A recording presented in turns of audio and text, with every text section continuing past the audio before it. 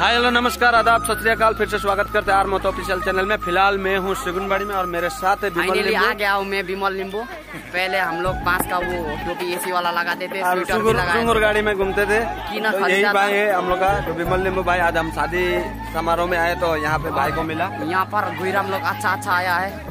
लड़की लोग लड़की लोग आप शादी क्यों नहीं किया अभी तक सिंगल हूँ ना। इस बार का होली भी सिंगल ही चला गया। कोई किसी ने नहीं लगाया। सिंगल यार चलिए थोड़ा अंदर का हम नज़ारा दिखाएँगे विमल भाई के साथ। बड़े बड़े बड़े लेकिन अंदर लड़की लोग नहीं है सब बाहर है। तो तो मैं भी फ़िलहाल विमल विमल भाई के साथ में हूँ। बहुत दिन से आशा था इनसे मिलने के लिए। यहाँ पे मैं देखिए। ये नज़ारा है हमारा गाँव का शादी का। ये ये गाँव का ये आज मैं यहाँ आने का मकसद यही है कि हमारे घाघरा बाज़ार से जो बहन है कमला।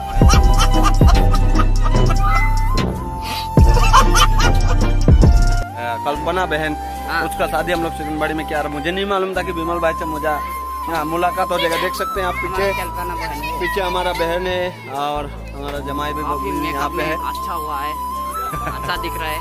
और वो हमारा जमाई है मेरा मामा है। आपको कौन है? मामा। अच्छा मामा है तो वो हमारा मामी है। तो ये हमारा यही है छोटा मेरा- सा गाँव। मेरा गाँव का आदमी लोग ये अच्छा अच्छा लोग। फौजी लोग भी है। ये हमारा गोईराम लोग है अच्छा अच्छा। चाहिए तो नंबर में दे सकता हूँ कौन सा मोबाइल चलाता है पता नहीं है लेकिन। तो दोस्तों विमल नींबू से मिलने का जो मज़ा इच्छा था वो मिल गया। पूरा हो गया है। पूरा हो गया दोनों भाई का। हम लोग दोनों ने फ़ोन किया था एक बार मिलने के लिए लेकिन ये भाई भी आ नहीं पाया कुछ कारण से। तो फ़िलहाल विमल भाई से मिलके बहुत अच्छा लगा। और आप देख सकते हैं पीछे पेंडल। काफ़ी लोग यहाँ पे आए हैं। सुरेश भाई भी है और अभी शाम हो गया है।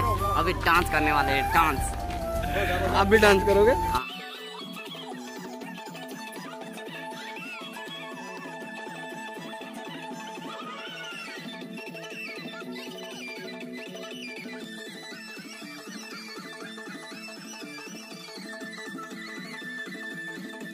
तो चलिए मिलेंगे और दूसरा ब्लॉग के साथ। तब तक के लिए बाय सब बाकी